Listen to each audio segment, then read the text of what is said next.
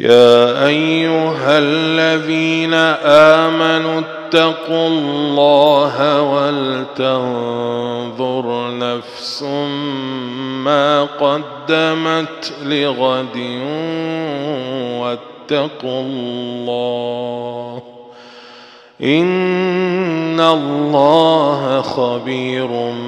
بما تعملون ولا تكونوا كالذين نسوا الله فانساهم انفسهم اولئك